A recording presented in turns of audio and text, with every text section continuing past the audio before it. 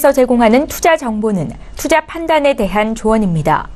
방송에서 제공하는 주식의 가치, 가격 상승 및 가격 하락에 대해서는 방송사에서 보장하지 않습니다. 시청자 여러분 안녕하십니까. 오늘 장 내 일장 2부 문을 열도록 하겠습니다. 2부에서는 이제 다양한 종목들 짚어보고요. 여러분이 궁금하신 종목들 직접 문자 상담 이어가는 시간 준비가 되어 있습니다. 문자 상담 필요하신 분들은 하단에 번호 나오고 있습니다. 100원의 정보 이용료 부과되는 샵 0082번을 통해서 궁금하신 종목들 지금 보내주시면 됩니다. 레벨업 트레이딩 타임 본격적으로 출발하기 전에 이 시각 시황 변동 상황부터 짚어보도록 하겠습니다. 코스피 지수 결국엔 하락 반전했습니다. 지금 파란불 됐고요. 낙폭이 크진 않습니다. 0.2포인트, 0.01%. 그러면 보합권 수준이라고 봐도 될 정도인데 일단은 빨간불을 지키던 시장이 조금 전 2시 40분기에서 하락 전환이 됐습니다. 2246포인트대인데요. 하루간의 흐름들 살펴보도록 하겠습니다. 일중으로 보시면 오늘 장 초반에 분위기 괜찮았습니다. 2260포인트 갭상승 출발을 하고 바로 어, 상승폭을 줄이기 시작해서 결국에는 현재 시각에는 하락 반전을 하는 모습인데 어, 수급 주체 한번 확인해 보도록 하죠. 수급 주체 보시면 개인의 매도 물량은 좀 줄어들었습니다. 지금 세 개 주체가 모두 어, 매도하고 있는 상황이고요. 기관 외국인 매도, 특히나 외국인의 매도가 352억 원 정도 크진 않지만 셋 중에 가장 크게 나오고 있고요. 기관 투자자 가운데선 금융 투자만이 188억 원 여전히 프로그램 매수가 들어오고 있는 상황입니다. 자 그렇다면 코스닥 시장 살펴보도록 하겠습니다. 코스닥은 어, 낙폭이 그렇게 크진 않습니다. 770포인트 회복을 했고요. 0.25% 하락 정도입니다. 일단 코스닥 역시 약보합권 수준에서 지금 답답한 흐름 이어가는데 하루간의 흐름들 살펴보도록 하겠습니다. 마찬가지입니다. 그래프가 코스닥도 778부터 출발해서 쭉 빠져내려면서 769포인트대 오늘 저점이고요. 현재도 저점 부근에서 지속적으로 반등 나오지 않고 있는 상황입니다. 수급조차 만나보도록 하죠. 어, 개인이 982억 원. 일단은 코스닥은 하락할 때마다 개인이 좀 담고 있는데요. 오늘 장에서도 개인이 1000억 원 가까이 사고 있습니다. 기관 외국인 동반 매도하는 가운데 기관 투자자 가운데에서는 연기금이 지금 매수 전환된 상황입니다. 4억 원 소폭이지만 연기금에서 매수가 들어오고 있다라는 부분이 체크가 되고 있습니다. 원달러 환율의 흐름 짚어보도록 하죠. 원달러 환율은 1121원 20전대에서 거래가 되면서 1120원대 오늘 지지받고 다시 1121원대까지 올라온 상황입니다. 금일폰 방송에서 제공해드린 정보는 투자 판단에 대한 조언일 뿐입니다. 해당 주식의 가치와 수익률 보장해드리지 않는다는 점 참고해 주시기 바랍니다.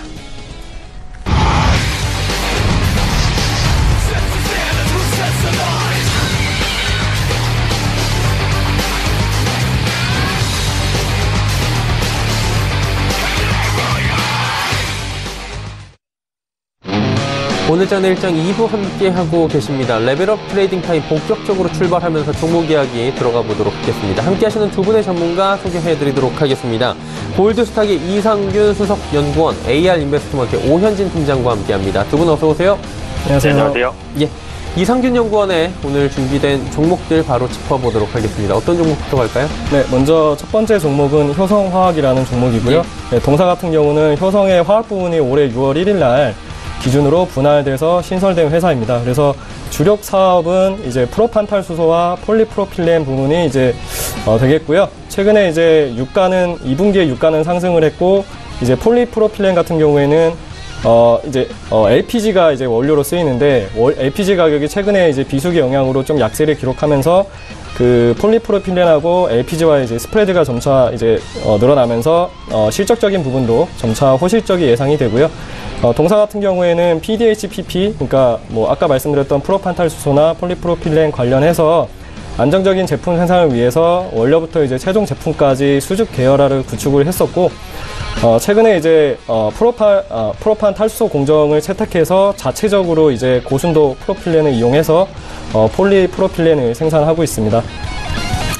어, 폴리프로필렌 같은 경우에는 이제 어, 원유를 주, 어, 원유를 중요 어, 원유를 가열해서 나올 때뭐뭐 가솔린이나 여러 가지 이제 주산물이 나오는데 부산물의 한 종류이고요. 어, 에틸렌과 같이 이제 여러 산업 분야에 자, 다양하게 쓰이고 있는 어, 합성 수지입니다. 뭐 전기전자나 차량 부품이나 포장재 쪽에 많이 쓰이고 있고요.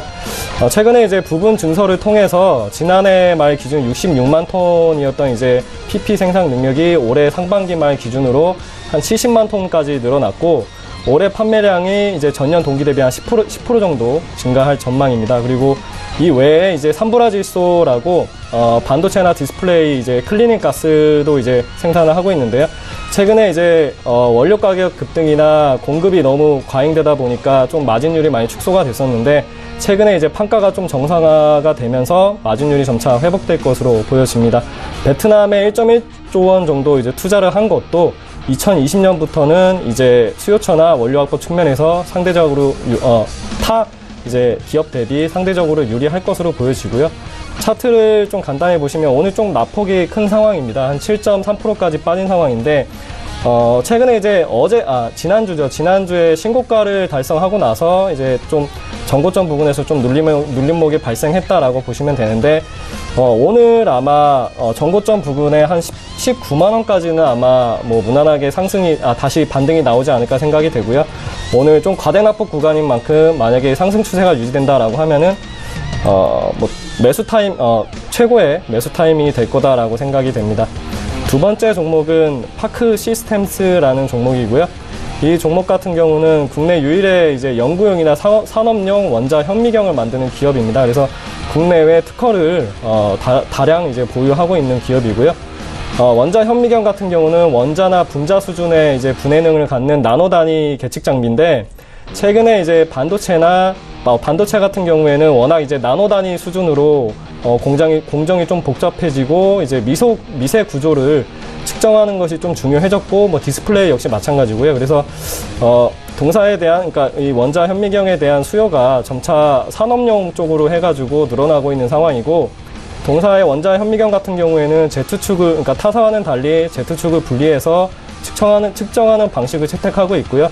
어, 경쟁사 대비 좀 정밀한 측정이 가능하고 이제 비접촉식 방식이다 보니까 뭐 탐침이나 시료 같은 것에 이제 손상이 전혀 없- 없이 측정이 가능합니다. 그래서 올해 2분기의 실적이 매출액 한 130억 정도, 영업이익은 한 36억 정도가 이제 나오면서 영업이익 같은 경우는 흑자 전환에 성공하였고요. 산업용 원자 현미경이 좀 이제 마진율이 높은데 최근에 이제 1분기 말 기준으로 수주 잔고가 한 105억 원 정도 됩니다. 그래서 전년 동기 대비 한 29억 원 정도를 이제 증가하였고 어, 이제 기술 장벽이 좀 상대적으로 낮은 이제 연구용 원자 현미경 같은 경우에는 최근에 이제 경쟁사가 사업을 중단했습니다. 그래서 어깨가 조금씩 이제 재편이 일어나고 있고 그에 따라서 점유율이 어, 확대가 될 것으로 보여집니다. 어, 아무래도 이제 이익률이 우수한 이제 산, 산업용 어, 원자 현미경 매출이 증가하는 가운데 이제 동사 같은 경우에는 판관비 같은 경우도 좀 이제 통제를 확실하게 하고 있어서 큰 폭의 이익 성장세가 예상이 되고요. 2018년 매출액과 영업이익은 한 480억 원, 120억 원 정도로 전년 동기 대비 한 46%, 97% 어, 증가할 전망입니다. 차트를 어, 좀 간단히 봐주시면 어, 오늘 같은 경우 한 3.3% 정도 낙폭이 있는 상황인데 뭐 시장 자체가 워낙 요즘에 좀 혼조세를 보이고 약세를 보이다 보니까 그에 따른 어, 약세 흐름이라고 보여지고요. 어, 지금은 추세가 있다라기보다는 그냥 옆으로 조정을 겪고 있는 다- 어, 단순히 기간 조정을 겪고 있는 상황이기 때문에 오늘의 낙폭이 있었다라고 해도 뭐 이동 평균선이나 이런 부분 관계없이 진입하셔도 크게 무리는 없을 만한 구간이라고 생각이 됩니다. 네, 다음 종목은 무림 PMP라는 종목이고요. 이 업체 같은 경우는 국내 유일의 표백 화학 펄프 생산 업체로 뭐 제지와 펄프를 같이 생산하고 있는 기업입니다. 그래서 2018년에 펄프 부문 매출이 이제 전년 동기 대비 한 25% 증가해서 한 2천억 원 수준으로 이제 추정이 되는데 이는 이제 중국하고 좀 연관이 있습니다. 최근에 이제 중국 쪽에서 이제 혼합 폐지 수입 제한 조치를 취하게 되면서 뭐 자국 산업의 뭐 재활용 산업을 좀 키우기 위해서 이제 했던 조치고요. 그러다 보니까 중국 내에서도 이제 폐지 수급이 좀 불안정한 상황입니다. 어, 불안정하다 보니까 중국 쪽에서는 이제 펄프 수요가 지속적으로 증가하고 있는 상황이고 이 펄프에 대한 수요는 한 2, 3년간 지속될 것으로 보여지고요. 또 배출가스 허가제를 이제 시행, 시행하면서 정화 시설을 갖추지 않은 어, 업체들에 대해서 이제 제재를 가하고 있습니다. 제한을 하고 있고 그것 때문에 중국 내 자체에서도 이제 제지 생산률이 많이 떨어졌고 어, 그거에 따라서 펄프 가격도 상승하고 있다. 이렇게 봐주시면 될 것 같고요. 최근에 또 미국 쪽에서 중국이나 인도네시아 이제 제지에 대해서 반덤핑 관세를 이제 5년 정도 연장을 했습니다. 그래서 국내 제지 업체들이 또 어, 수혜를 입을 수 있을 것 같고 글로벌 이제 어, 제지 판가 상승폭이 그동안 펄프 가격은 많이 올랐는데 제지 값은 많이 오르지 못했습니다. 그래서 뭐 최근에 연초에 한 번 올랐던 걸로 알고 있고요. 그래서 어, 재직값에 대한 어, 판가 인상이 한 번 더 어, 이루어질 수 있을 것으로 보여지고요. 그에 따라서 펄프나 어, 조림이나 그리고 재직까지 다 같이 하고 있는 이 동사가 어, 좀 더 이 개선세가 다른 업체보다 좋아지지 않을까 생각이 됩니다. 네, 차트를 간단하게 보시면 어, 전고점을 일단 돌파가 나왔습니다. 9,000원 부근에서 좀 중요한 어, 포인트, 중요한 자리였는데 어, 신고가를 일단 어, 달성한 상황이기 때문에 뭐 어, 모멘텀은 그러니까 상승에 대한 모멘텀은 더욱더 커질 것으로 보여지고요. 눌림목이 발생하더라도 전고점 부근인 한 9,300원 부근에서는 다시 반등이 나올 것으로 기대가 돼서 어, 뭐 오늘 이제 매수가 좀 약간 불안하시다 하시는 분들은 이제 조정이 나왔을 때 진입하시는 것도 나쁘지 않을 것 같습니다. 네, 다음 종목은 JW 생명과학이라는 어, 종목입니다. 동사 같은 경우는 국내 수액 시장에서 이제 1위 어, 기업이고요.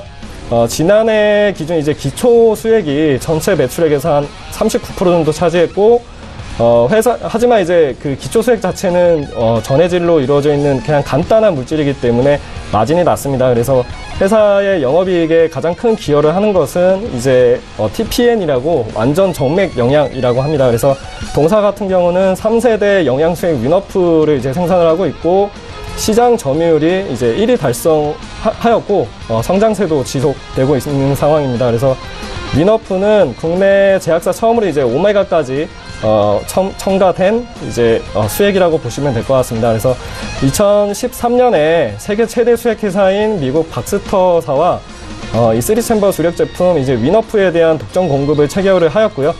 어, 향후 10년간 미국과 유럽의 이제 글로벌 시장에 그러니까 총 1조 규모의 수액을 공급할 어, 전망입니다. 그래서 동사 같은 경우는 박스터향 수액 공급을 위해서 당진 공장 증설하였고 또 유럽 우수의약품 제조관리 기준 인증도 받았습니다. 그래서 이에 따라서 2019년 상반기부터 해가지고 영국, 독일 등 유럽 7개 국가에 순차적으로 제품 승인이 진행이 된 후에 수출이 시작될 전망이고요. 어, 이 위너프 같은 경우에는 어, 영업이익률이 한 20% 정도가 넘기 때문에 제품 믹스 개선으로 수익선이 더욱 향상될 것으로 보여집니다. 네, 차트 한번 보시면 어, 이 종목 같은 경우도 지금 딱히 뭐 추세가 있는 상황은 아닙니다. 그동안 뭐 제약바이오 섹터가 워낙 뭐 많이 안 좋았지만 최근에 좀 흐름이 어, 반등 흐름이 나오고 있는 상황이고요. 그런 측면에서 봤을 때 지금 기간 조 기간 조정이나 가격 조정을 그동안 겪어왔지만 충분히 반등이 나올 만한 자리다. 뭐 추세가 없는 상황이기 때문에 뭐 들어가셔도 크게 부담은 없, 없을 것으로 보여집니다. 네, 마지막 종목은 IS 동서라는 종목입니다. 이 IS 동서는 이제 건설 건자재 업체이고요. 건설, 콘크리트, 그리고 요업, 그리고 렌탈 사업까지 영위하고 있습니다. 그래서 2016년에서 17년에는 이제 실적이 굉장히 좋았는데 2015년에 수주한 이제 부산 용호동 W라고 하는 이제 브랜드가 어, 채, 어, 계속 어, 이제 실적에 반영이 되면서 최근 2분기까지도 아마 실적이 좋았습니다. 하지만 이제 용호동 W 이후에 어떤 뭐 용호동 W와 같은 어떤 메간톤급 뭐 수주가 없는 상황이기 때문에 어, 좀 약간 실적적인 부분에서 어, 다소 좀 부진할 것으로 예상이 되고 주가 자체도 2년간 많이 하락을 했었는데요.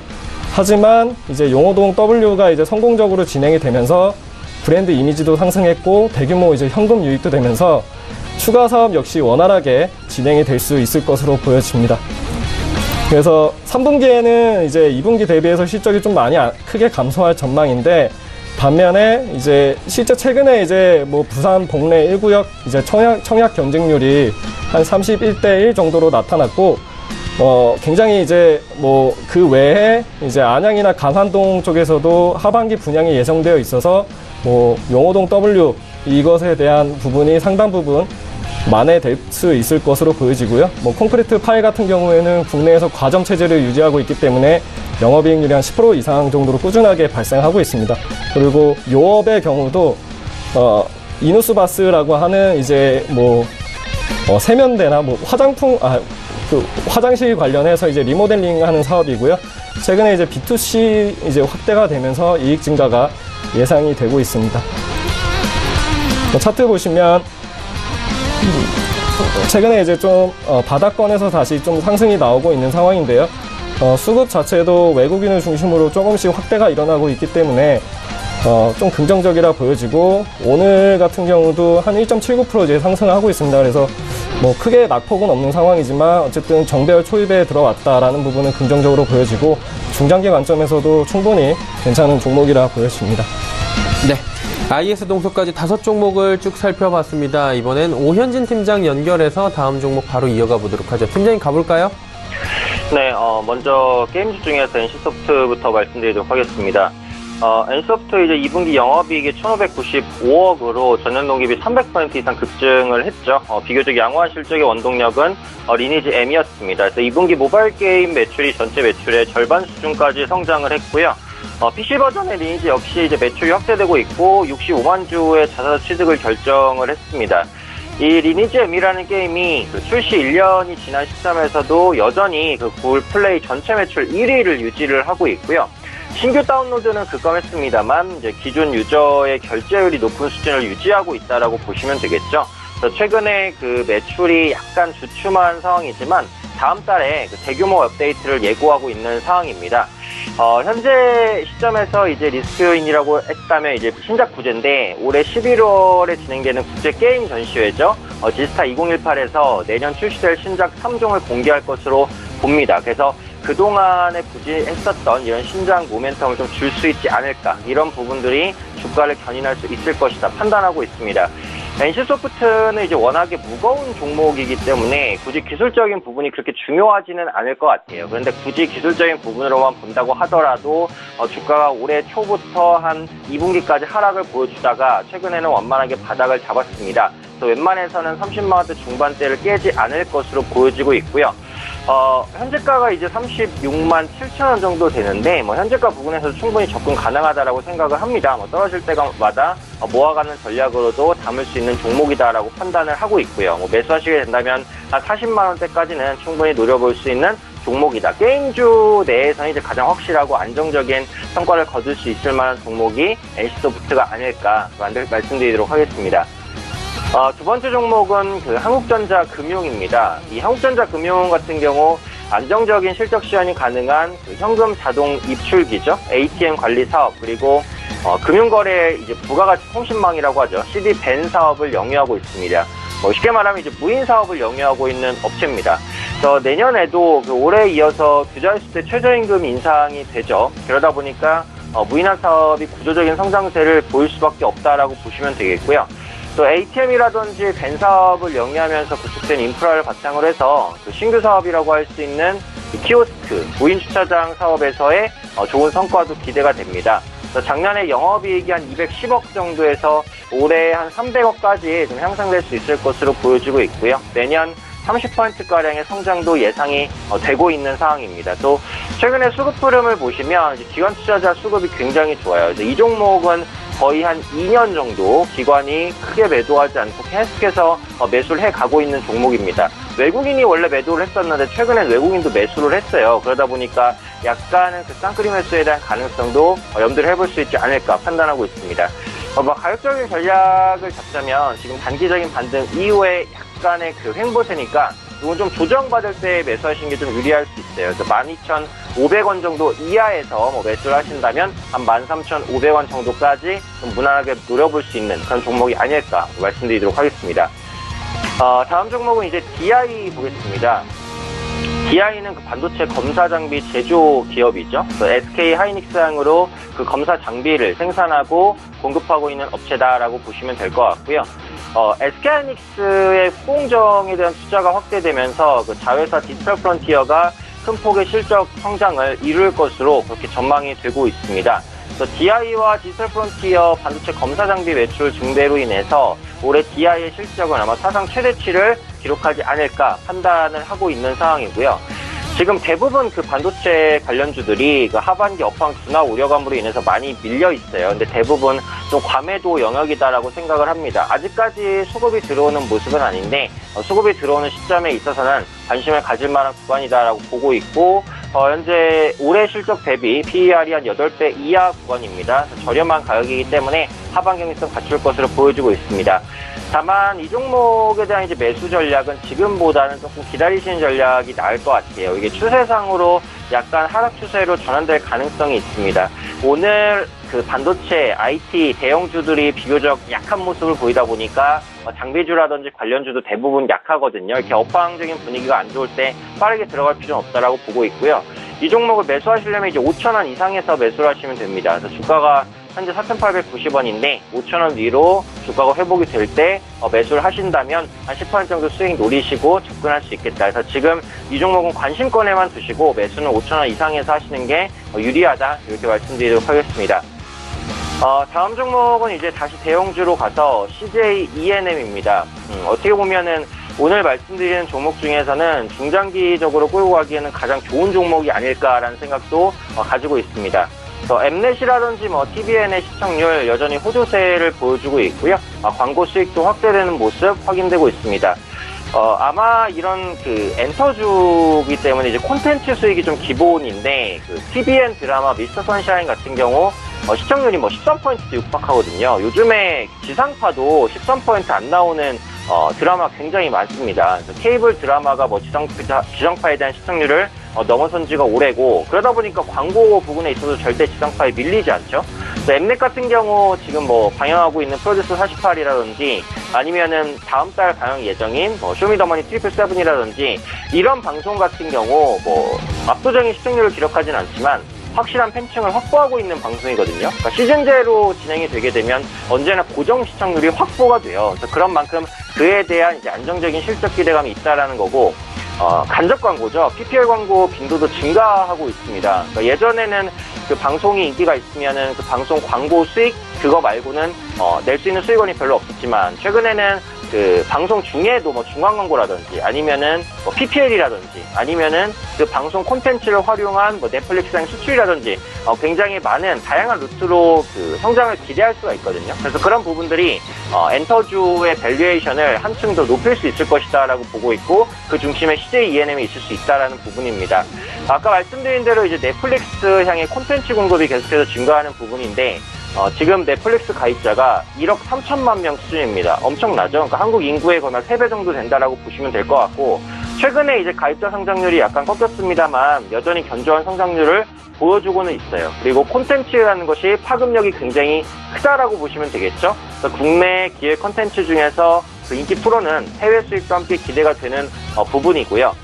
또 스튜디오 드래곤의 지분을 가지고 있는데 이 스튜디오 드래곤이 지금 굉장히 valuation이 높게 평가가 어, 되고 있는 상황이란 말이죠. 그래서 이 스튜디오 드래곤의 지분을 매각하게 됐을 때 높은 가격을 받을 수 있습니다. 이런 부분에 대한 기대감도 같이 한번 가져가 보시면 좋지 않을까 판단을 하고 있고 무엇보다도 이 종목이 한 6월 중순부터 시작해서 그 합병 기대감에 의해서 많이 올랐어요. 근데 그 다음에 어 거의 급락이 나왔거든요. 근데 이렇게 급락이 나올 이유는 딱히 없었다라고 봅니다. 그러다 보니까 지금 저점에서 다시 한번 매수가 들어오고 있는 모습인데 어, 그렇다고 하더라도 지금 주가는 밸류에이션상 전혀 어, 성장성을 감안했을 때 무리가 없는 주가라고 생각을 합니다. 현재가 24만 원인데요. 어, 24만 원 밑으로 뭐 모아가는 전략 취하시면 이전 고점이었던 28만 원까지는 어, 노릴 수 있지 않을까. 한 6개월 이상 보유하셔도 어, 괜찮은 종목이다 이렇게 판단하고 있습니다.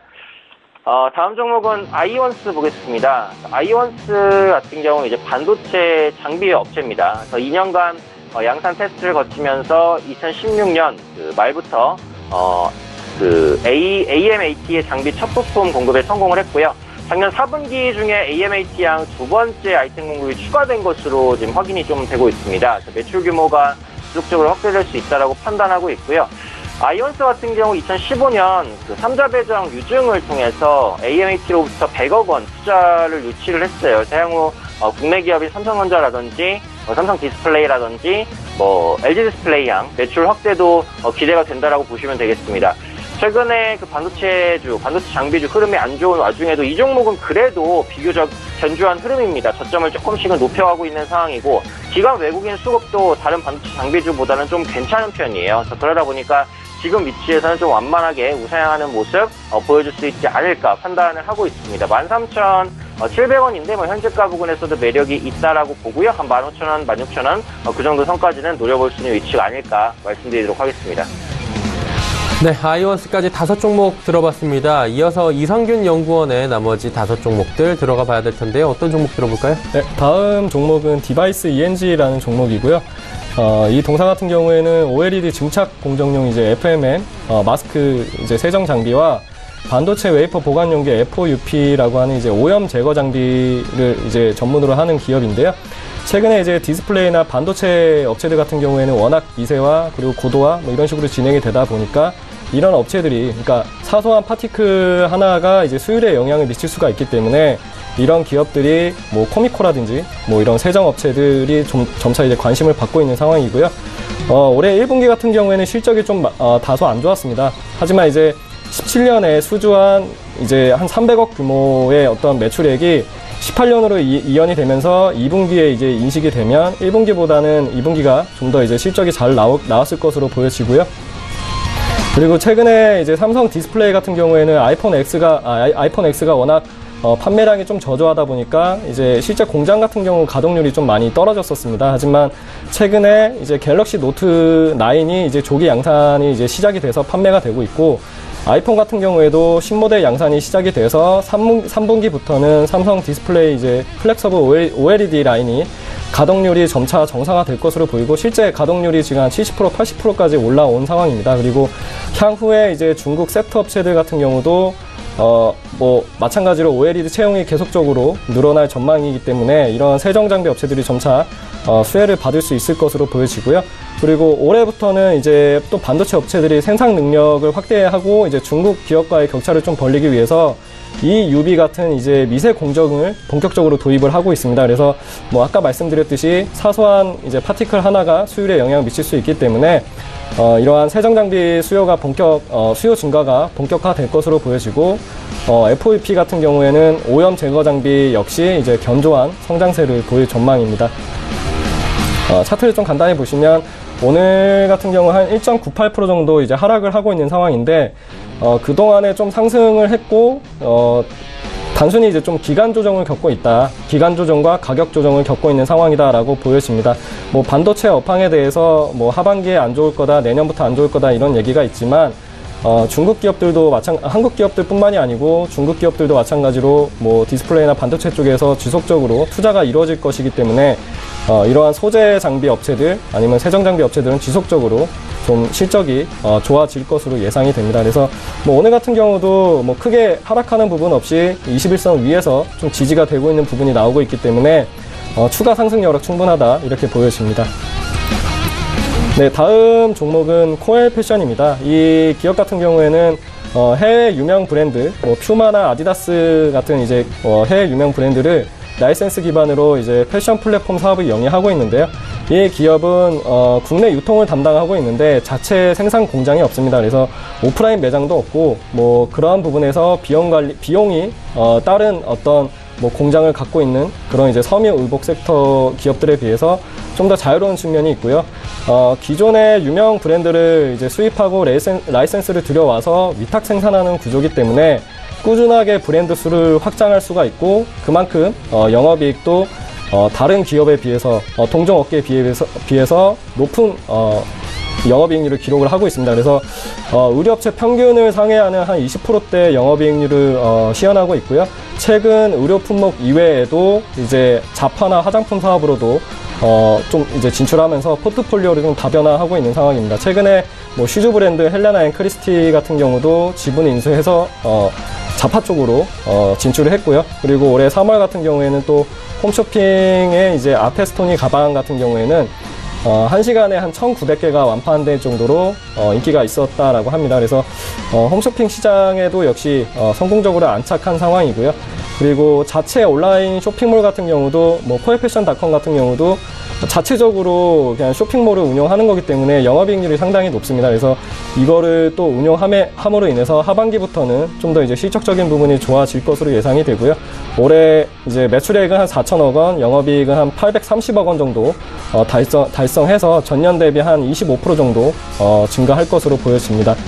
어, 가격적인 부분을 한번 보시면 이게 지속적으로 6,000원을 돌파했다 또 빠지고 6,000원 돌파했다 빠지고 이게 벌써 한 1년 정도가 됐는데요. 1년 정도를 지속적으로 6,000원 돌파를 시도하고 있는 모습입니다. 오늘 같은 경우도 약간 약보합세를 기록을 하고 있는 상황인데 최근에 뭐 기관이나 외인 수급도 양호했던 걸로 보여지고요. 그리고 뭐 사실 6,000원과 지금 현재 주가가 큰 차이가 없기 때문에 뭐 한 번에 갭으로 띄우든 아니면 그냥 도- 장대 양봉으로 돌파가 나오든 충분히 어, 슈팅을 한번 나올 수 있는 자리다 이렇게 생각이 되고요. 뭐 그때 매수하시는 것보다는 지금 매수하신 다음에 6,000원 돌파를 기다리시는 게 좋을 것 같습니다. 네, 다음 종목은 일동 제약입니다. 뭐 최근에 이제 제약바이오 섹터가 워낙 많이 하락하다가 최근에 좀 이제 반등 흐름이 나오고 있는데요. 동사 같은 경우에는 사업 구조가 전문 의약품, 일반 의약품, 그리고 헬스케어, 그리고 뭐 기타, 화장품 쪽도 하고 있습니다. 그래서 기타로 이루어져 있는데 올해 2분기 매출액과 영업이익이 한 1,250억 그리고 76억 원 정도로 전년 대비 좀 큰 폭으로 증가했습니다. 다만 어, 판비어나 베시보 같은 그 뭐 대상포진 치료제나 비형 간염 치료제 같은 전문 의약품 같은 경우에는 어, 최근에 이제 일부 품목이 좀 약가 인하가 진행이 되면서 전문 의약품 매출은 사실 소폭 상승하는데 그쳤고요. 반면에 뭐 많이 알고 계시는 아로나, 아로나민이나 엑세라민 같은 이제 종합 비타민류 이제 판매가 호조가 이루어졌고 또 비, B2B 온라인몰 이제 전환이 좀 가속화가 되면서 일반 의약품 부문이 어, 전년 대비 한 20% 이제 신장하였습니다. 그래서 어, 실제 일반 의약품 부문이 어, 매출 상승, 매출 증가를 이끌었다 이렇게 봐주시면 될 것 같고요. 그리고 뭐 프로바이오틱스나 음료 같은 경우는 아직 좀 이제 매출이 뭐 크게 나오고 있는 상황은 아닙니다. 다만 최근에 신규 런칭한 이제 그 기능성 화장품 같은 경우 어, 매출이 약 56억 원으로 전년 대비 한 100% 정도 증가하여서 어, 앞으로도 뭐 긍정적인 모습이 좀 예상이 되고요.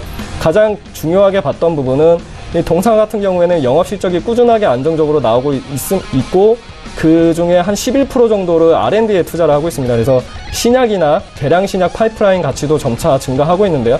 최근에 이제 표적 항암제 IDX 이제 1197 같은 경우에는 폐암 표적 항암제이고요. 내년 1분기에 임상 1상에 대한 결과가 나올 것으로 보여집니다. 그래서 순조롭게 진행이 되면 license out도 가능할 것으로 보여지고 최근에 뭐 치매 치료제 같은 경우도 임상 2상이 진행 중이다 이렇게 어, 봐주시면 될 것 같습니다. 그래서 음, 가장 중요하게 봤던 부분 아까 전에 말씀드렸듯이 R&D 비용으로 신약 쪽에 상당히 투자를 많이 하고 있어서 앞으로 그 부분이 좀 더 뭐 기존의 전문 의약품, 일반 의약품 이쪽보다는 어, 좋게 좋은 모습을 보일 수 있을 것으로 보여집니다.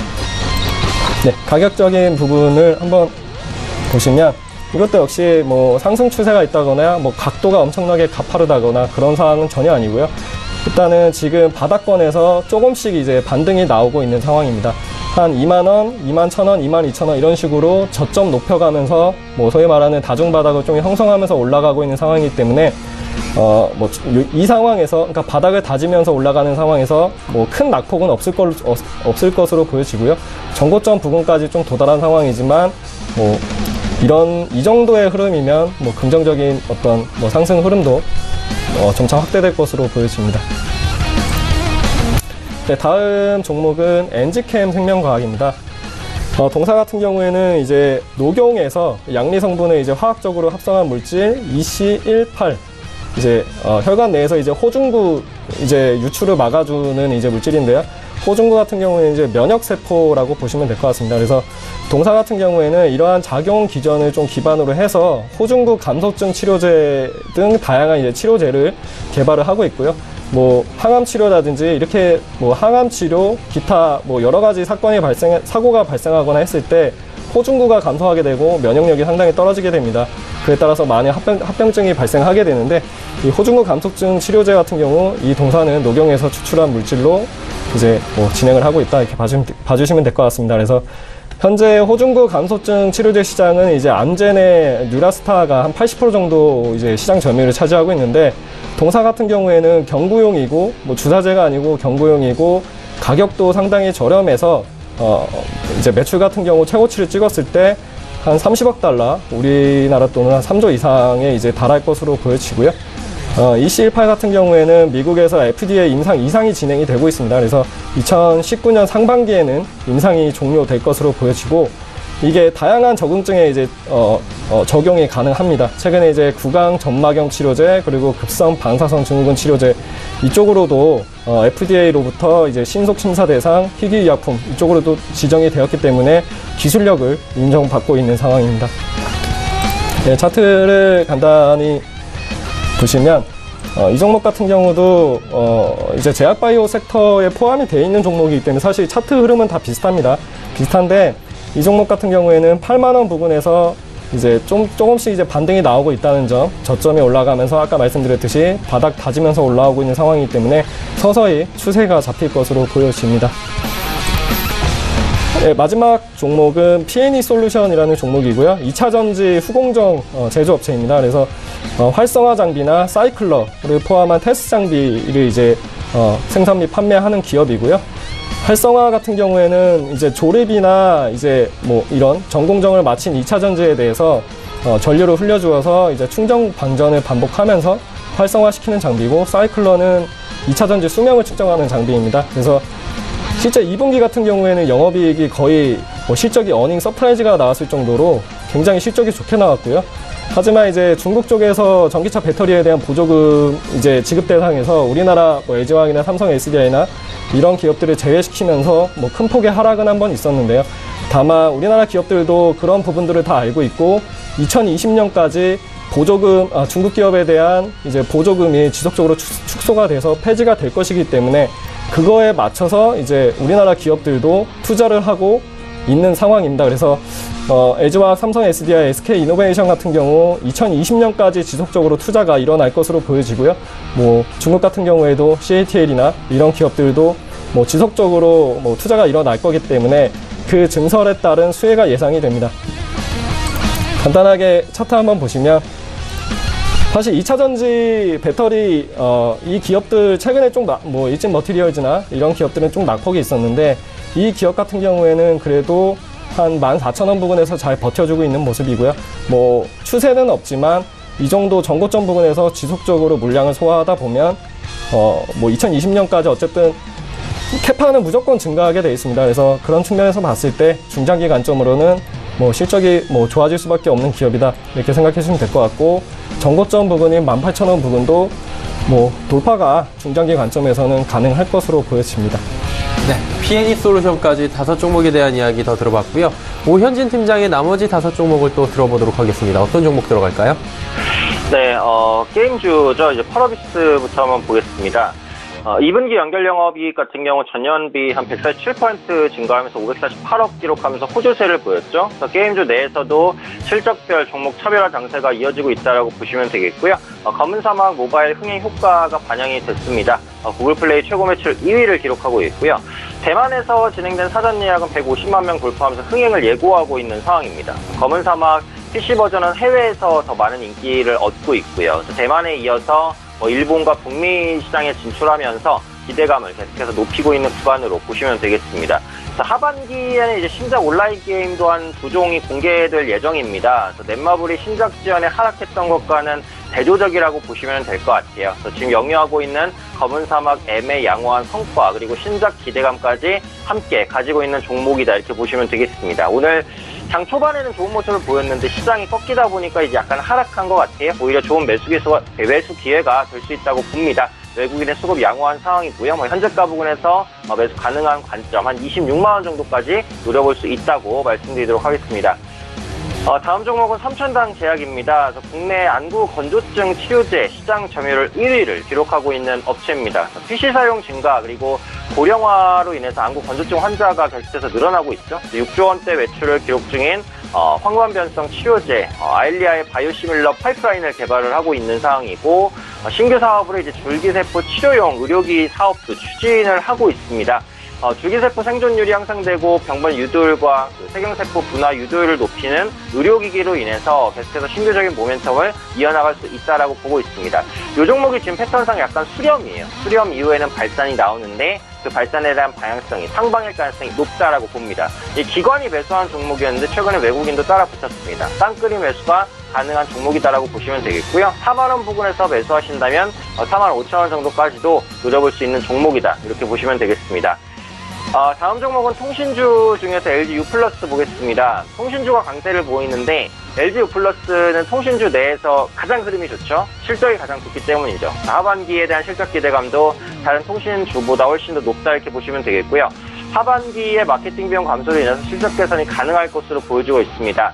또 갤럭시 노트 9이라든지 뭐 애플의 신규 스마트폰이라든지 하반기에 플래그십 스마트폰이 출시되는 부분도 어, 긍정적입니다. 또 MSCI가 이제 지난 14일 발표한 정기 변경에서 LG U 플러스가 한국 기업으로 유일하게 구성 종목으로 새로 편입이 됐어요. 그래서 수급 이벤트도 기대가 된다라고 보시면 되겠습니다. 그래서 이 종목은 그 추세를 타고 가는 종목입니다. 그래서 6월 달부터 시작해서 상승 추세, 어, 20일 이평선 한 번도 안 깨고 있죠. 어, 추세적인 상승, 달리는 말에 올라타는 전략으로 한번 공략해 볼 수 있는 그런 종목이다. 이렇게 보시면 되겠습니다. 어, 다음 종목은 에이테크 솔루션 보겠습니다. 자동차 TV 금형을 생산하는 업체입니다. 자동차 3D 금형과 고장력 강판 관련 기술을 보유하고 있어서 자율주행차 시장 성장에 따른 수혜를 받을 수 있는 종목이라고 보시면 되겠고요. 현재는 그 차량용 라이더 관련 부품을 개발을 하고 있습니다. 이 LiDAR라는 게 자율주행차의 눈 역할하는 부품이거든요. 삼성전자가 한 15% 지분을 가지고 있어서 삼성전자 관련주로 분류가 됐고 또 삼성그룹의 신성장 동력 중에 하나가 자율주행차죠. 자율주행차 투자 본격화에 따른 수혜가 가능하다라고 보시겠습니다.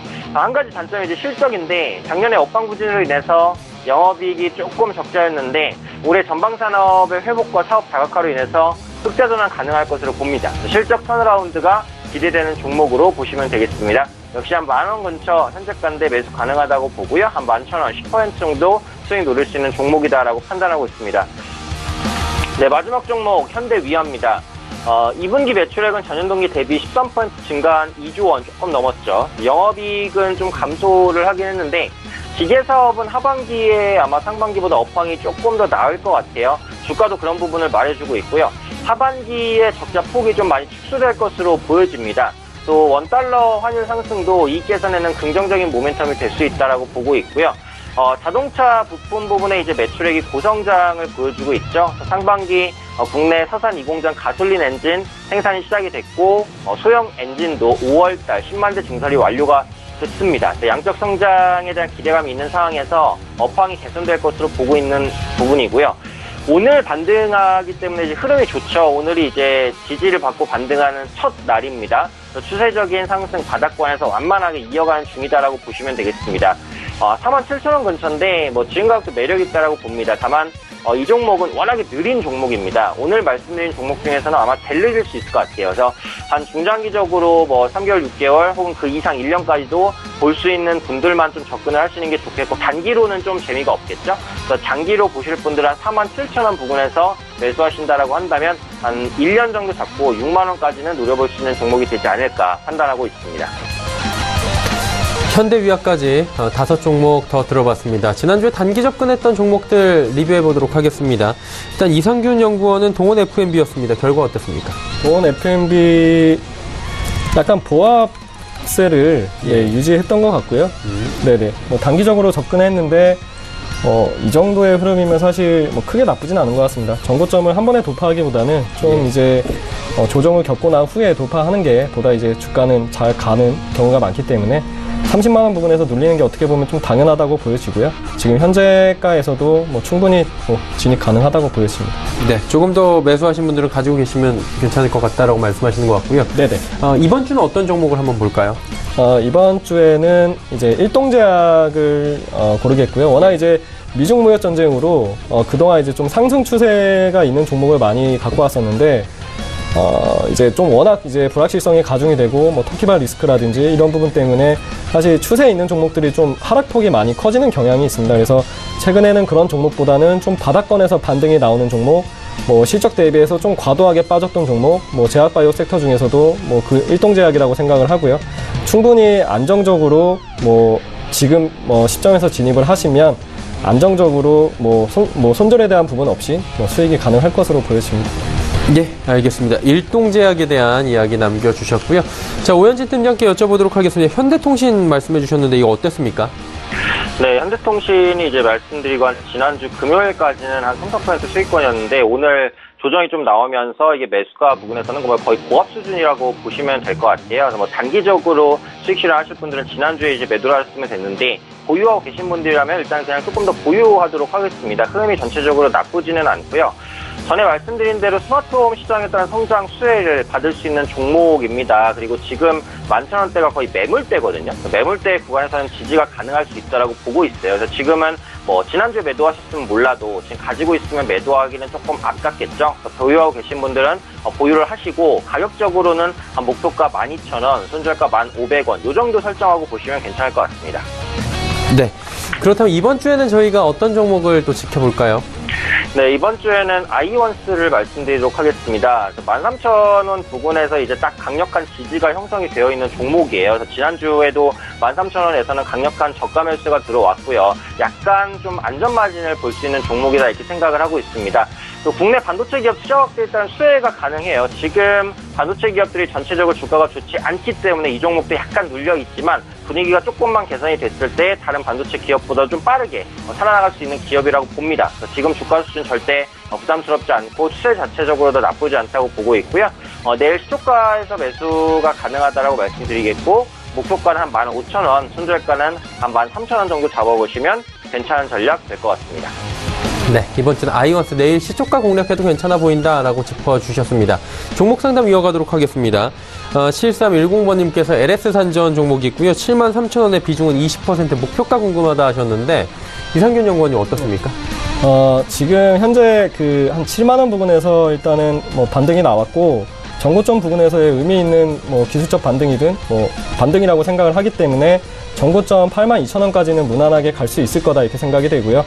그리고 뭐 ESS라든지 뭐 자동차 전장 사업 부분에서 이제 하반기로 갈수록 점차 이제 뭐 매출 확대가 예상이 되기 때문에 어, 충분히 중장기 관점에서도 가져갈 만한 종목이라고 생각을 합니다. 단기적인 관점에서 수급이 좀 안 좋은 부분은 어차피 기관이나 외인 쪽에서 다시 이제 수급이 들어오면 주가는 다시 상승하기 때문에 뭐 크게 뭐 개의치 않으셔도 어, 좋을 것 같습니다.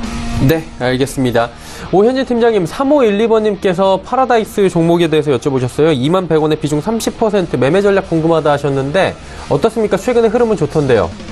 네, 매매 전략은 뭐 홀딩입니다. 무난하게 가져가시면 될 것 같습니다. 지금 매수가도 현재가랑 뭐 큰 차이는 없는데 어, 가격도 나쁘지 않게 잘 사셨다라고 보고 있고요. 어, 최근에 보시면 중국 소비주, 그 중에서도 외국인 카지노주가 다 안 좋았다가 좀 바닥치고 올라옵니다. GKL도 마찬가지고 파라다이스도 비슷한 흐름입니다. 하반기에는 아마 드랍액이나 홀드율이나 대부분 개선이 될 거예요. 그리고 중국인 관광객이 예전에 좀 빠져나갔을 때 일본인 VIP 관광객이 그 빈자리를 좀 메꿔줬거든요. 그런 부분들 생각해 보시면 되겠고 지금 외국인 카지노주는 다 괜찮게 봅니다. 근데 GKL보다 파라다이스가 단기적으로 조금 더 좋을 수도 있다라고 보는 게 다음 달에 파라다이스 시티 2차 개장이 예정돼 있어요. 그러다 보니까 단기적으로는 이 종목이 조금 더 강할 수도 있다라고 보거든요. 지금 위치에서는 뭐 무난하게 홀딩하시면 될 것 같아요. 물량도 적당하다라고 말씀드리겠고요. 뭐 목표가를 잡자면 한 2만 2천 원 정도 그리고 손절선은 한 19,500원 정도만 잡아보시고 홀딩하시면 뭐 좋은 성과 나지 않을까 말씀드리도록 하겠습니다. 네, 파라다이스에 대한 이야기 남겨주셨습니다. 오현진 팀장은 이쯤에서 시간 관계상 보내드리도록 하겠습니다. 고맙습니다. 네, 감사합니다. 예상 체결지수 정리하도록 하겠습니다. 코스피부터 만나보도록 하죠. 코스피 지수가 강보합권으로 그래도 전환이 되면서 마무리되는 분위기입니다. 2248포인트 정확히 지금 어, 찍고 있고요. 0.95포인트, 0.04% 상승 흐름인데 어, 일중 흐름들 살펴보도록 하겠습니다. 하루간의 흐름 보시면 장중에 계속해서 하락하고 있는 모습 확인이 되고요. 한때 2246포인트대까지 밀리면서 파란불이 보이기도 했습니다. 지금 다시 보합권 수준으로 올라오긴 했는데 답답한 흐름은 여전한 상황입니다. 그렇다면 수급 주체 어떨까요? 자, 수급 주체 보시면 기관이 그래도 매수로 전환을 조금은 해줬습니다. 기관 46억 원 매수하는 가운데 역시나 금융투자 쪽에서 매수 물량이 많이, 많이도 아니네요. 277억 원 정도 들어오고 있고요. 외국인 568억 원 팔고 개인도 43억 원 매도입니다. 그렇다면 시가총액 상위 종목들의 흐름은 어떨까요? 삼성전자는 여전히 하락하고요. SK하이닉스는 강보합입니다. 셀트리온 하락 그리고 삼성 바이오로직스 전체적으로 시총 상위주들이 오늘 코스피 같은 경우에는 하락이 낙폭이 크진 않지만 전체적으로 빠지고 있다라고 보시면 되고요. 어, 6위부터 12 종목들도 확인해 보도록 하겠습니다. 철강주들 오늘 괜찮습니다. 포스코가 한때 3% 4% 가까운 상승을 보였는데 현재는 2%대의 상승이고요.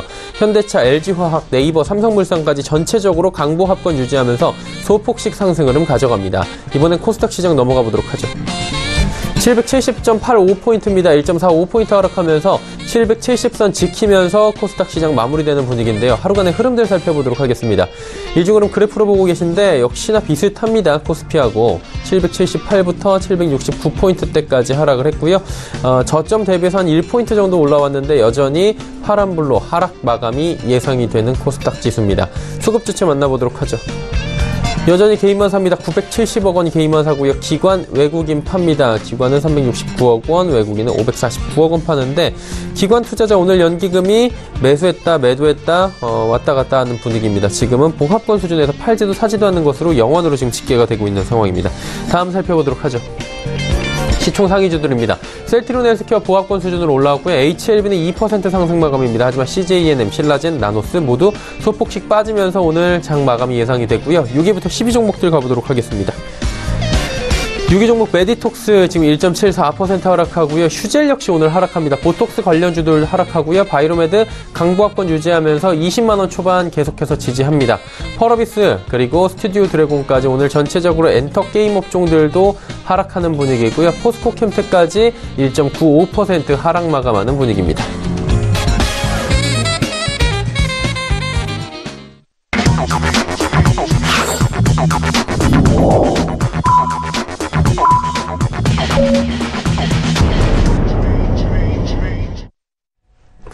자, 월요일장이 모두 마감이 됐습니다. 아, 시장 상황이 좋은가 했는데 결국에 어, 결론을 보자면 별로 좋지 않은, 아, 질적으로도 좋지 않은 상황입니다. 어떻게 보셨습니까?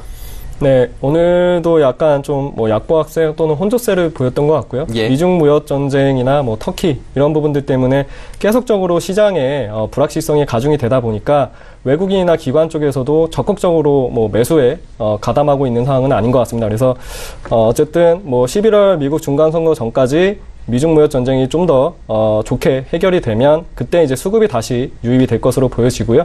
그 전까지는 계속 이런 모습이지 않을까 생각이 됩니다. 그래서 어, 바로바로 어, 이러한 장세에서는 바로바로 좀 수익을 어, 어, 짧게 어, 챙겨가는 어, 그런 식의 매매가 좋을 것 같습니다. 음, 일단은 뭐 단기적으로 접근해달라라고 말씀하셨는데 단기적으로 접근하기에 또 좋은 종목들이 있고 지금 절대 접근하면 안 되는 종목들이 있을 것 같아요. 네. 어떤 종목들이 좀 유효하고 어떤 종목은 좀 피하는 게 좋습니까? 한 업종씩만 들어볼까요? 어, 지금은 사실 뭐 그거를 뚜렷하게 말씀드릴 수가 없는 게 예. 예, 뭐 섹터 어떤 섹터가 특히 안 좋다 뭐 이런 식으로 생각할 것도 없이 전체적으로 좀 안 좋은 것 같습니다. 그래서 개별 어떤 실적주나 뭐뭐 가치 밸류에이션이 좀 있는 종목들 위주로 접근하시는 게 좋을 것 같습니다. 네. 네. 그렇다면 이제 한 섹터보다는 업종별로 지금 차별화된 장세를 좀 준비를 하는 게 가장 중요하다라고 말씀하시는 것 같습니다. 골드스탁의 이상균 수석 연구원과 함께했습니다. 고맙습니다. 네, 감사합니다.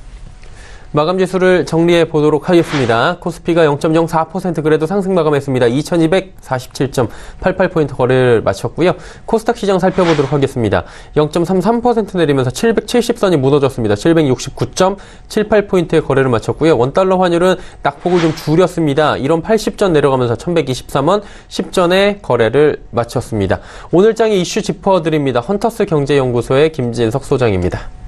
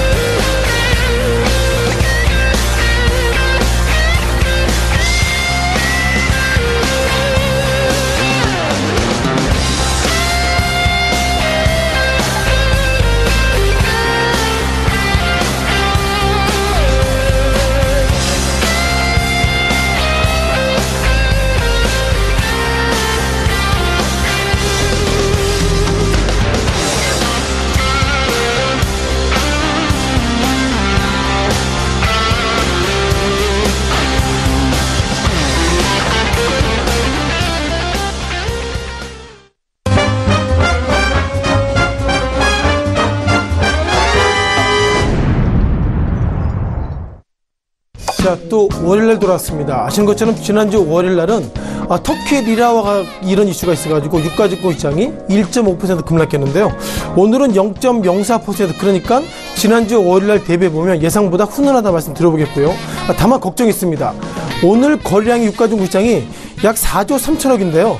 아, 지난 7월 26일 날 같은 경우에는 총 거래량이 6조 3천억. 그러니까 2조가 아, 단기간에 없어진 것인지 아니면 투자자들이 일단 시장이 어렵기 때문에 나는 좀 쉬겠다 그러는지 몰라도 오늘 거래 대금이 예상보다 적다는 말씀을 드리면서 오늘 시장의 핫 이슈를 말씀드려보겠습니다. 자 오늘 어떤 종목들 올라왔는지 보셔야 할 것 같은데요. 자 오늘 새내기 종목 올라왔습니다. 이번에는 어, 바이오 솔루션의 새내기 종목 올라왔고요. 어, 녹십자 셀이 어저께 좋은 이슈가 있었는데 이것 때문에 오늘 어, 제약바이오 업종들의 상승에 기본적인 틀거리가 녹십자 셀의 이슈로 올라왔다 말씀 드려보겠습니다. 아, 또한 CJ ENM에 대한 말씀 드려보겠고요. 또는 카페24 예상보다 주가는 급락하고 있는데 증권사에서는 너무너무 좋게 하고 있어서 과연 이것이 맞는지 좀 판단하실 것 같습니다. 마지막으로 삼성전자 즉 오늘도 뭐 역사적 신저가를 갔기 때문에 결국 시장에 대한 전망을 보기 위해서는 삼성전자의 방향성을 봐야 된다 이렇게 말씀드리면서 오늘 시장 바이오 솔루션부터 말씀을 드려보도록 하겠습니다. 자 오늘 바이오 솔루션 리뷰를 드려보겠는데요. 자 오늘 처음 이게 들어왔지만 그동안 삼수 즉 첫 번째 실패, 두 번째 실패 그리고 세 번째 겨우겨우 들어온 종목 관련돼서 아, 바이오 솔루션이라는 종목인데요. 아, 기본적으로 세포 치료제 전문 기업이고요. 아, 이 종목의 기본적으로 공모가가 아, 우리가 보면 29,000원입니다. 즉 어저께까지 공모가 29,000원 사셨는데 오늘 어, 28,500원이니까 그래도 약간이나마 좀 이익을 좀 보셨다고 말씀 드려보겠고요. 아, 다만 특징이 한 가지가 있습니다. 이 기업이 2017년도 즉 작년 실적 좋지 않습니다. 제 데이터를 보니까 아, 작년 같은 경우에는 매출 50억에 영업 손실이 18억입니다. 즉 영업 손실이 18억임에도 불구하고 들어왔다는 것을 보면 기술이 좋아서 기술 특례로 들어왔다 말씀 드려보겠고요. 약간 좀 비율 좀, 좀 들어보면 아, 좋은 대학을 운동선수 갔는데 실력으로 저기 성적으로 간 것이 아니라 그뭐 그 운동선수 실력 실력이 실력으로 가죠. 그것처럼 아, 바이오 솔루션이 재무적으로 좋지 않지만 기술 특례를 인정받았다 그런 관점으로 아, 바이오 솔루션 즉 새내기 종목에 대한 설명을 마치도록 하겠습니다. 자, 두 번째 녹십자 셀입니다. 자, 녹십자 셀 오늘 좀 좋은 이슈가 있었죠. 어, 49,700원, 장중에는 55,200원까지 갔었는데 최근 들어서 제약바이오 업종들의 주가가 상승보다 하락할 여지가 많았습니다. 아신 것처럼 차 바이오텍 관련돼서 감사역인 한정이 있었고요. 어떤 우리가 시청자 여러분께서 아시는 것처럼 네이처셀, 즉 주가, 주가 조작 이런 이슈가 있었는데 자, 그럼에도 불구하고 녹십자셀 그 이뮨 우리가 LC라고 그러죠. 이뮨 이뮨셀 LC인데 정확하게 이뮨셀이라는 단어를 좀 보시면 그 이뮨이 그 단어 뜻을 보면 그 면역 그리고 셀이 세포기 때문에 면역 세포 관련돼서 FDA의 희귀약으로 지정됐다 이런 소식에 아, 녹십자셀에 올라갔습니다. 아, 다만 여기서 우리가 엄격하게 분리될 것은 이것은 녹십자 셀에 관련된 것이고요. 오늘 그 외 종목 관련돼서 중기세포지 올랐지만 제가 볼 때 녹십자 셀이 올랐다고 그런 종목들은 얼떨결에 올랐다 즉 근거가 없다 이렇게 말씀드리면서 어, 최근 들어서 녹십자 셀 이후에 주가 상승한다면 제약바이오 업종 다른 종목들은 투자 심리를 호전하는 그 시기에 오히려 오히려 팔아되는 것은 아닌가 이렇게 말씀을 드려보도록 하겠습니다. 자 세 번째 CJ ENM에 대한 설명 드려보겠는데요. 자, 최근 들어서 CJ 오쇼핑 합병, 합병했는데 합병 이후 예상보다 주가가 그리 좋지 않았습니다. 물론 최근 들어서는 지난주 기준으로 연기금 매수했지만 오늘 월요일 첫날 24만 원 그러니까 장중에는 23만 8천 원 900원까지 약세를 보이고 있었는데요. 어, 과연 이와 관련돼서 최근 들어서 증권사에서는 어떻게 바라보는지 아, 증권사의 페이퍼를 좀 잠깐 보시면서 수급을 먼저 좀 보시면 좋겠습니다. 자, 최근 들어서 연기금이 좀 의심스럽다는 평을 가지고 있고요. 어, 올해 8월부터 지난주 금요일까지 유가중국 시장 관련돼서 기관이 총 7,415억 매도했는데 눈에 띄는 것들은 연기금이 4,777억 그러니까 기관 관련돼서 약 60%를 연기금이 매도했다는 말씀 드려보겠고요. 눈에 띄는 것들은 연기금은 어, 기관의 틀로 보면 어, 기본적으로 기관은 어, 코스닥 시장에서 299억의 순 매수 보고 있고 예상보다 연기금이 900억 이상 매수 보고 있다는 거 보면 이제는 연기금이 나는 유가중 시장을 팔고 코스닥 시장에 살 것이다 이런 좀 판단을 가야 할 것 같습니다. 자 그럼 지난주 리뷰를 보여 보씀 말씀 드릴 것 같은데요. 지난 한 주 동안 연기금 보면 예상보다 코스닥 시장 관련돼서 CJ ENM 그리고 JYP 그리고 SF 이런 종목들이 지난 일주일 동안 1등, 2등, 3일 달리고 있습니다.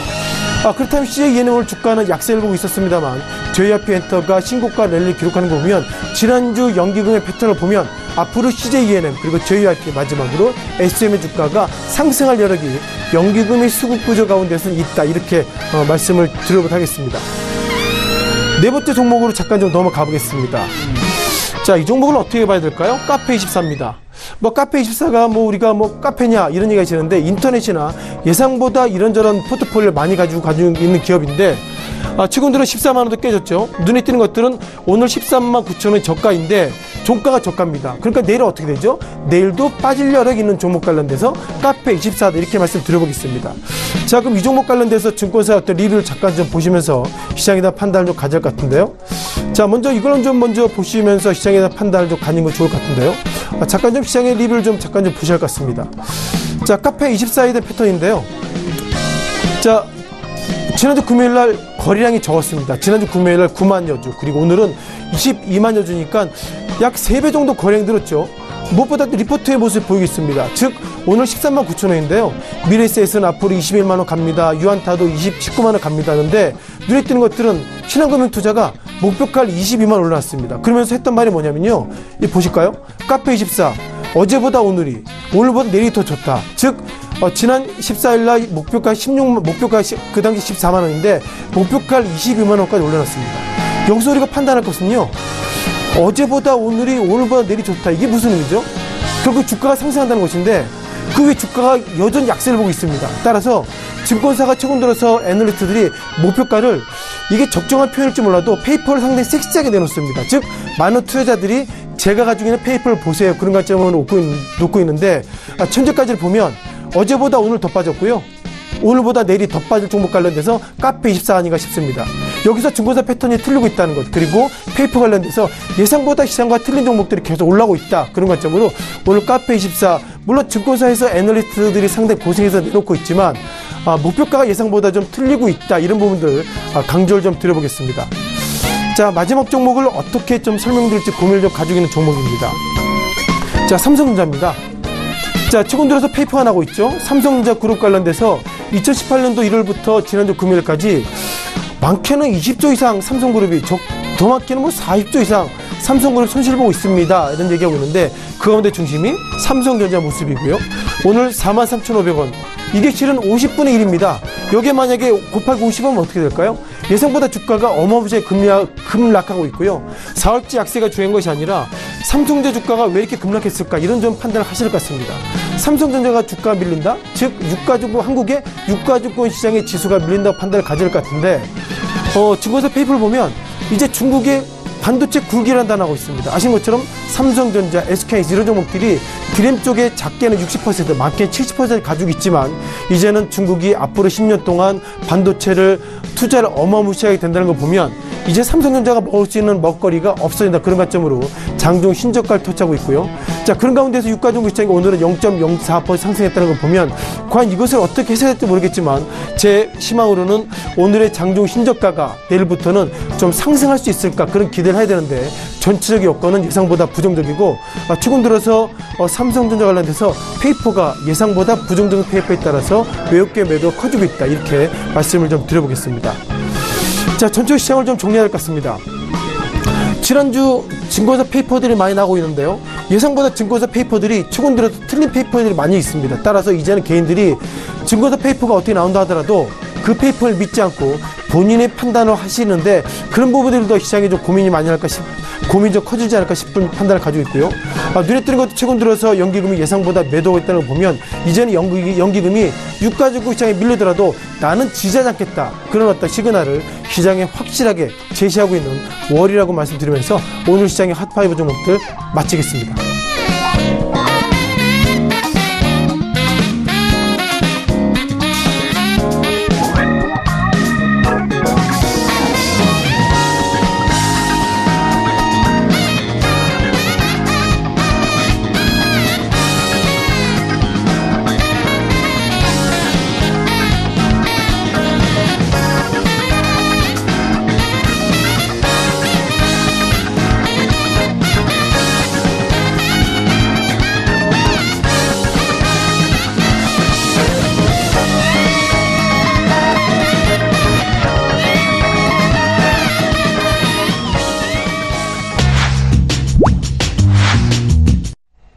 내일장 전략 이어가도록 하겠습니다. KTB 투자증권 여의도 지점에 이성훈 과장 연결돼 있습니다. 안녕하십니까? 네, 안녕하십니까? 예, 오늘 시장도 결국에는 약세장으로 전환이 되고 별로 좋지 않게 마무리가 된 것 같은데요. 오늘 월요일장 정리 한번 해주시고요. 내일장 전략까지 함께 들어볼까요? 네, 오전장에서는 좀 그 미국과 중국의 무역 협상에 대한 기대감이 여전히 지난주 금요일에 남아 지난주 금요일에 이어서 어, 오늘 시장까지도 이어지는 모습을 기대를 했었는데요. 어, 우선은 그 무역 분쟁의 해결의 실마리를 보이면서 투자자의 기대감은 좀 조금씩 반영이 되고 있는 것으로 판단이 되고 있습니다. 하지만 오늘 시장을 봤을, 봤듯이 어떤 제한적인 반등세가 나타날 가능성이 크지 않을까 어, 판단이 되고 있고요.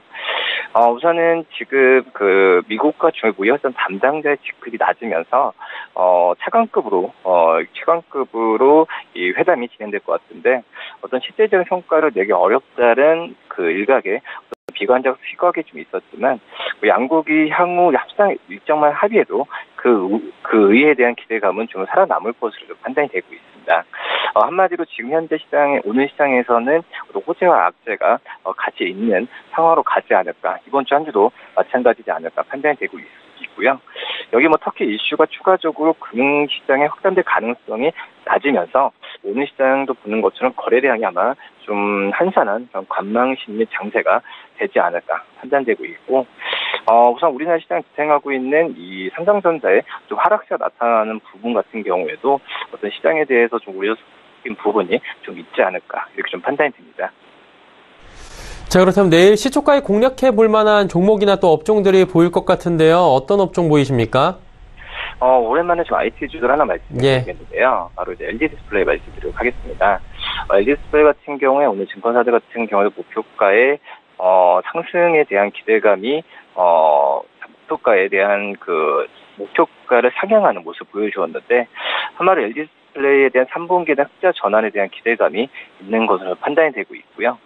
특히 이제 OLED TV 쪽의 수요 같은 경우가 2017년 159만 대에서 2022년에 1,400만 대로 연평균 54% 성장할 것으로 보여주면서 이 OLED TV 쪽에서의 그 LG 디스플레이의 그 시작에 대한 기대감을 크게 하지 않을까 이렇게 판단이 됩니다. 이 3분기 영업이익 한 170억 정도로 예상이 되면서 어, 컨센서스보다 양호한 성과를 기록할 것으로 보여주고 있는데요. 뭐 특히 32인치 LCD TV 패널 가격의 상승 부분이 어떤 이런 부분의 흑자에 대한 전환 기대감을 갖고 가지 않을까 이렇게 좀 판단됩니다. LG 디스플레이에 대해서 내일장에는 시초가 공략 같이 한번 해보자라고 말씀해 주셨습니다. 오늘 말씀 잘 들었습니다. 네, 감사합니다. KTB 투자증권 여의도 지점의 이성훈 과장이었습니다. 금일 본 방송에서 제공해드린 정보는 투자 판단에 대한 조언일 뿐입니다. 해당 주식의 가치와 또 수익률을 보장해드리지 않는다는 점 참고해 주시길 바랍니다. 오늘 전 일장 저희가 준비한 소식은 여기까지입니다. 편안한 오후 시간 보내시길 바랍니다. 저희는 내일 오후 2시에 더 알찬 소식을 들고 찾아뵙도록 하겠습니다. 함께 해 주신 여러분 고맙습니다.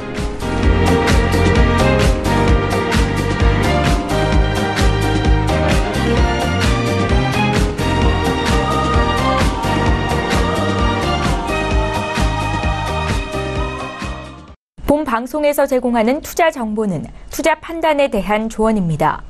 방송에서 제공하는 주식의 가치, 가격 상승 및 가격 하락에 대해서는 방송사에서 보장하지 않습니다.